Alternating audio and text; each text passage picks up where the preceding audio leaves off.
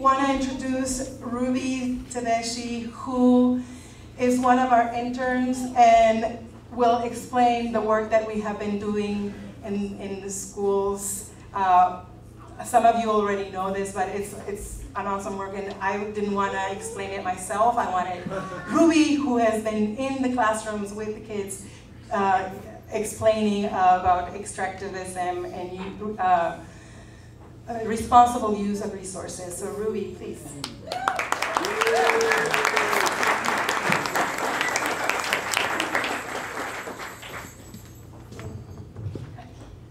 Buenas noches. Thank you all for being here tonight um, and for the opportunity to share a little bit about the work that we've been doing at DJPC. Um, and there has been another person involved with this work. Her name is Isa Villalon. She can't be here tonight. She's actually doing some work right now in Guatemala.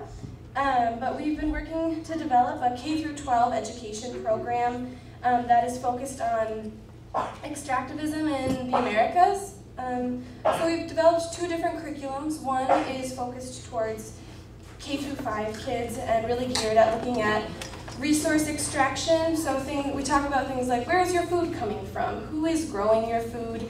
Um, how does it get to the grocery stores that you buy your food at? Um, how are your clothes made? Where are the products in your clothes coming from and your technology and how that impacts the world and the people who live in the world and how that impacts certain people in the world more than others. Um, we've also developed a second sort of simulation game that um, focuses on US imperialism and how that shaped the history of Latin America, um, and also class stratification within the United States.